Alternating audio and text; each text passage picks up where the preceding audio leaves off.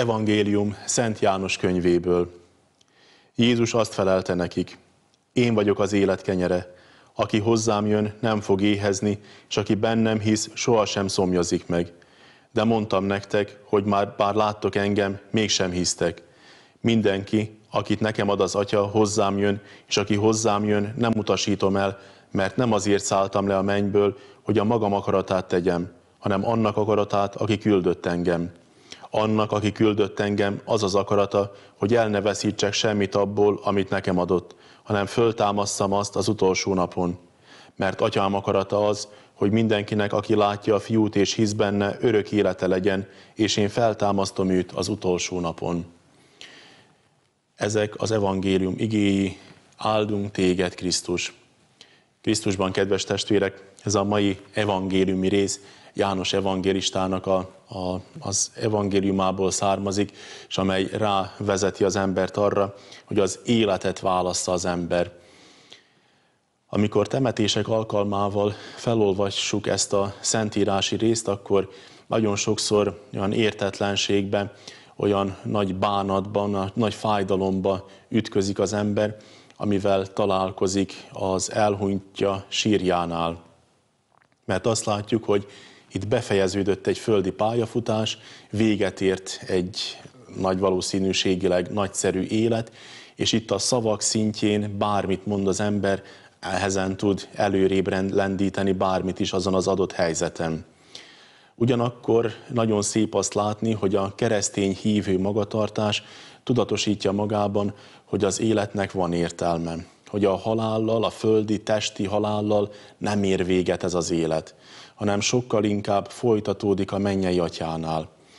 Az nagy kérdés és egy nagy feladat az ember életében, hogy a, az egész földi életét hogyan rendezi be. Hogyha ez egy Istennek tetsző élet, akkor nincs mit félnie a haláltól. Az az atya akarata, hogy az embernek élete legyen. Ezt az életet jó esetben magától értetődően az ember szereti.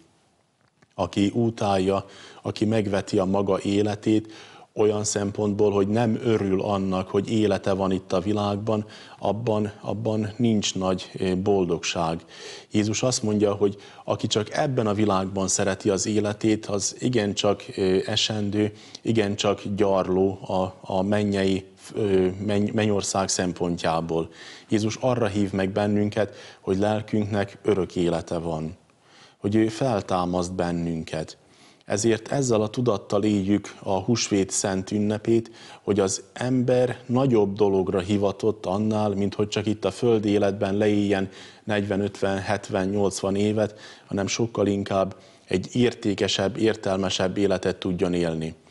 Jó azt látni, amikor az ember szereti az életet, és boldog ebben az életben, de mennyire boldogabb, és mennyire teljesebb életet tud élni akkor, amikor ott a világ, a földi, földi életet befejezve a Jóistennél megkapja mindazt a boldogságot és mindazt az örömet, amelyre az ember vágyakozik. Az emberben benne van a vágy az örök élet után, nagyon szeretne az Istennel közösségben lenni.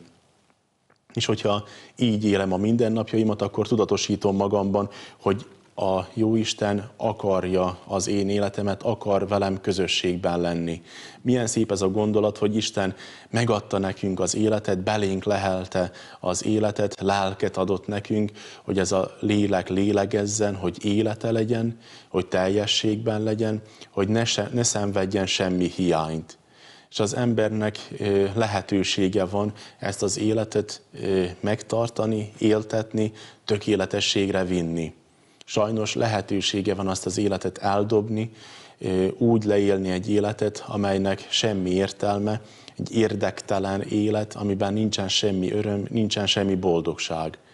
Hát én azt hiszem, hogy jobb egy olyan életet élni, aminek van egy végkifejlete, van egy tökéletes vége, amely az Istennél található. A, ha Jézusra szegezzük a tekintetünket, a feltámad Krisztusra, akkor azt úgy jó látni, hogy Isten ezeken a nehézségeken keresztül, a kereszten keresztül, ő maga az életét adja. Azért adja az életét, hogy az embernek teljes legyen az az élete, amelyet ő ajándékozott neki.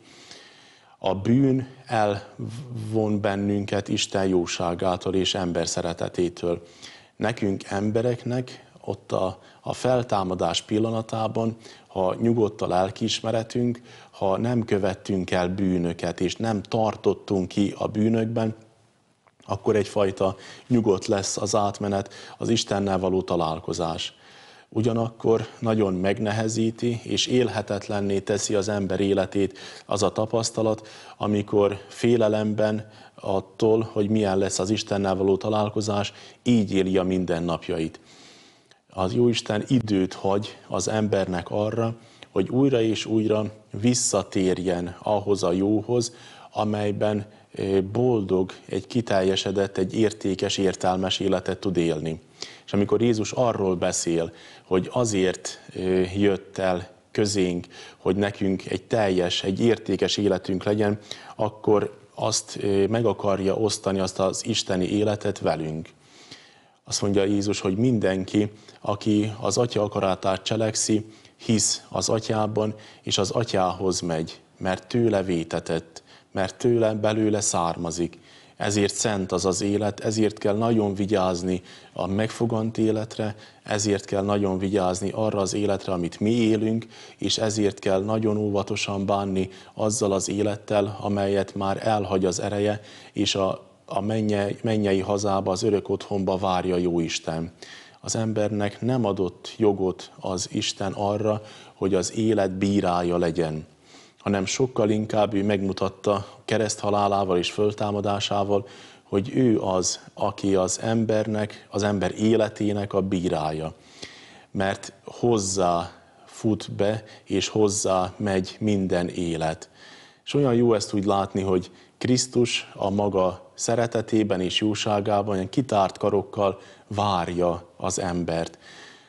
Ez a szentírási rész a feltámadás előtt született és még a tanítványokban nem tudatosult az, hogy miről van szó akkor, amikor Jézus az örök életről beszél. Volt valami elképzelésük, volt valami elgondolásuk az örök életről, de nehezen tudták azt megfogalmazni, mit jelent az ő számukra az, hogy Isten közösséget akar velük.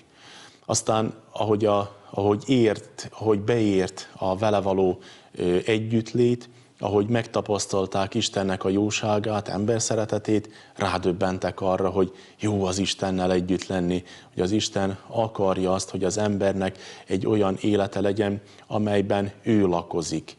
Amikor abba, abba azt az imát imádkozzuk, amelyet a mi Úrunk Jézus Krisztus adott nekünk, és azt kérjük tőle, hogy bocsássa meg a mi bűneinket, ahogyan mi is megbocsátunk az, em, az ellenünk védkezőknek, akkor kérjük azt is, hogy, hogy azt az emberi gyarlóságot, amivel mi rendelkezünk, ami nem tökéletes, ami esendő, ami nagyon távol van sokszor attól az egésztől, attól a széptől, amelyel a Jóisten megajándékozott bennünket, azt tegye teljessé, hogy azt egészítse ki.